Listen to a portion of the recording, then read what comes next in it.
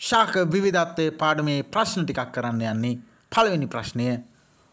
පළවෙනි ඉපදවීමට දායක වන්නේ පුෂ්පයක කවර කොටසද?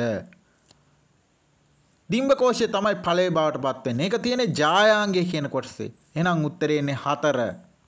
ඊළඟ ප්‍රශ්නය.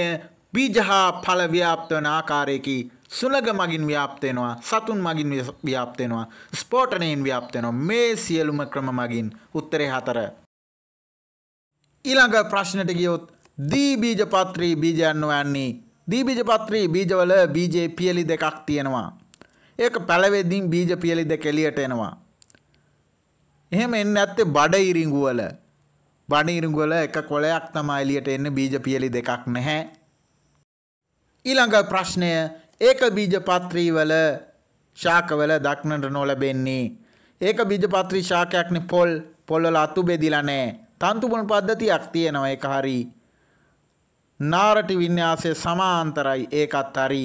පොල් නැත්නම් ඉලුක් වී වගේ ශාකයක් මතක් කරගන්න.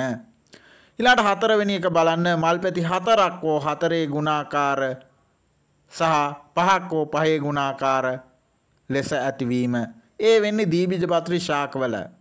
මල්පැති තුනේ හෝ තුනේ ගුණාකාර විදිහට තමයි එක බීජපත්‍රි ශාකවල තියෙන්නේ. එහෙනම් නොවන පිළිතුර වෙන්නේ හතරවෙනි එක. ඊළඟ ප්‍රශ්නයක් තියෙනවා සපුෂ්ප ශාකයක කියන්නේ මල් පිපෙන ශාකයක්. මඩු බේදුරු මීවන කියන්නේ මල් පිපෙන්නේ නැති ශාක. කරපිංච කියන්නේ මල් පිපෙන ශාකයක්. උත්තරෙන්නේ කරපිංචා හතරවෙනි එක. ඊළඟ ප්‍රශ්නේ සපුෂ්ප ශාකයක් නොවන්නේ මින් කුමක්ද? මෑ බෝංචි වදවල මල් පිපෙනවා සයිප්‍රස් වල මල් පිපෙන්නේ නැහැ. එන හතරවෙනි එක තමයි උත්තරේ සයිප්‍රස්. ඊළඟ ගත්තොත් මුදුන් මූල පද්ධතියක් නොමැති ශාකය මින් කවරක්ද? කොස් අඹ උණ දිවුල් තියෙන අතු බෙදෙන ඒ වගේ මුදුන් මුලක් තියෙනවා අතු බෙදෙන්නේ නැත්තේ උණවල.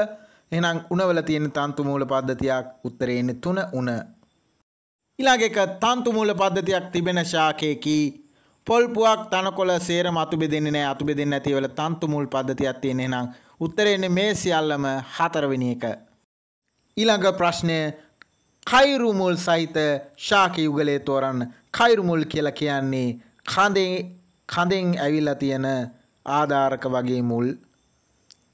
කඳෙන් වටේට ඇවිල්ලා තියෙනවා. ඒක කඳ වැටෙන්නේ නැතුව තියාගන්න උදව් වෙනවා. බුලත්තා කොහිලවල නැහැ. රම්පෙ හා වැටකෙයාවල තමයි තියෙන්නේ කයිරුමුල් උත්තරේ දෙක. ඊළඟ එක කරුමුල් සහිත ශාකයක් වන්නේ අතුවලින් පල්ලෙහාට මුල් ඇවිල්ලා තියෙනවට තමයි කරුමුල් කියලා කියන්නේ නුගවල තමා කරුමුල් තියෙන්නේ උත්තරේ 3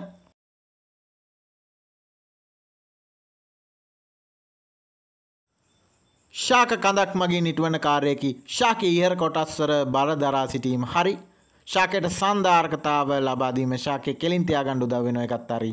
ශාකය තුල ආහාර හා ජලය කඳ ඔස්සේ පරිවහනය කිරීම එකත් හරි. එහෙනම් මේ සියල්ල මෙනවා උත්තරේ 4. අපුෂ්ප ශාකා සපුෂ්ප ශාක පිළිවෙලින් දක්වා ඇති පිළිතුර තෝරන්න සල්වීනියා බේදුරු දෙකම අපුෂ්පයි. මල් පිපෙන්නේ දෙවැනි එක සයිප්‍රස් කරපිංචා සයිප්‍රස් වල මල් පිපෙන්නේ නැහැ අපුෂ්පයි කරපිංචා සපුෂ්පයි. එහෙනම් දෙවැනි පිළිතුර තමයි එන්නේ. තුවෙනි එකේ දෙකේම මල් පිපෙනවා හතරවෙනි එකෙත් පළවෙනි එකේ මල් පිපෙනවා. උත්තරේ දෙක. ජලය සංචිත කරන ශාක පත්‍රය කුමක්ද? මේ ශාක පත්‍ර අතලින් අක්කපාන තමයි ජලය සංචිත කරන්නේ. එතකොට උත්තරේ හතර. ඊළඟ ප්‍රශ්නේ රූපේ A හා B පිළිවෙලින් A කියන්නේ පරාගදානිය B කියන්නේ සූත්‍රිකාව. ඒ විදිහට තියෙන්නේ දෙවනි පිළිතුර ඊළඟ ප්‍රශ්නය පහත් දැක්වන ප්‍රකාශ අතුරින් නිවැරදි සම්බන්ධතාව දක්වන්න නොමැති පිළිතුර තෝරන්න කරුමුල් ශාකයේ අතුවලට ආධාර කැල් ලෙස කියා කිරීම එක හරි.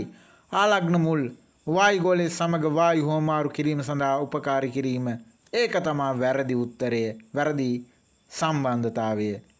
ඒ කියන්නේ නිවැරදි පිළිතුර.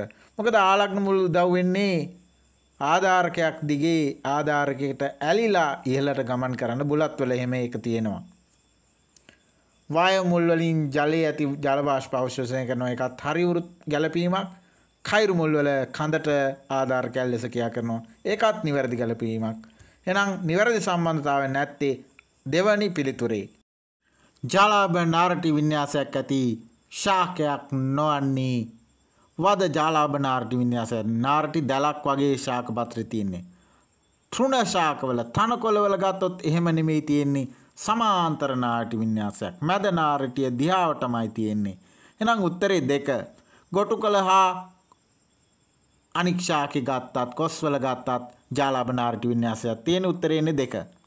ඊළඟ ප්‍රශ්නය සංයුක්ත පත්‍ර සහිත ශාකයකට නිදසුනකි ඒ කියන්නේ ශාක පත්‍රය පත්‍රිකා ගොඩකට බෙදලා තියෙනවා. ඒ විදිහට තියෙන මාරවල මාර සියඹලා කතුරුමුරුංගා ඒ වගේ ශාකවල තමා සංයුක්ත පත්‍ර තියෙන්නේ. මේක නම් හතරවෙනි පිළිතුර තමයි තෝරන්න වෙන්නේ. සමහර ශාක පත්‍ර වලින් අලුත් ශාක ඇතිවේ. ඒ සඳහා නිදසුනක් වන්නේ මින් කවර ශාකයේද? අක්කපාන බිගෝනියාවල නිහෙම් වෙන්නේ. එනම් පළවෙනි උත්තරේ තෝරන්න වෙන්නේ අක්කපාන